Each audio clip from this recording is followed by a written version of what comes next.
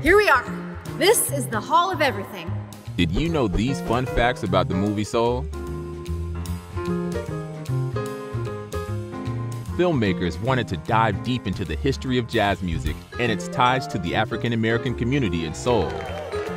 Pixar partnered with cultural consultants to help tell the story of soul in an authentic manner. Filmmakers took many trips to New York City jazz clubs, public schools, museums, and even local barbershops. Hey, Joe, what are you doing here on a weekday? Joe has 18 different outfit changes throughout the film, including a well loved beige tweed suit that he's had since the 80s. Whoa, I can't believe how good I look. The animators reference videos of expert sign spinners to animate Moonwind's talented twirls. That's marvelous! In The Great Before, the number of new souls jumping to Earth is roughly 4.13 souls per second, a match to how many births per second there are around the world. Woo! Animators consulted with an expert on cat anatomy so they could perfectly portray Mr. Mittens, and they were surprised to learn how flexible cats are in real life.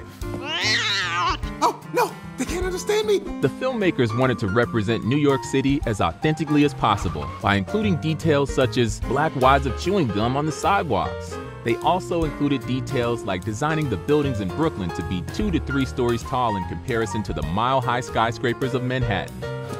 This is New York City. You don't stop in the middle of the street. And in true Pixar fashion, there are many fun Easter eggs throughout the film. So, where do you want to start? Come on. In the Hall of Everything, you can spot the classic A113 on a street sign, Toy Story's Pizza Planet truck, the lamp from Pixar's short film Luxo Jr., and the streetcar from Coco. To the left of 22's secret hideout, did you catch the Pixar ball?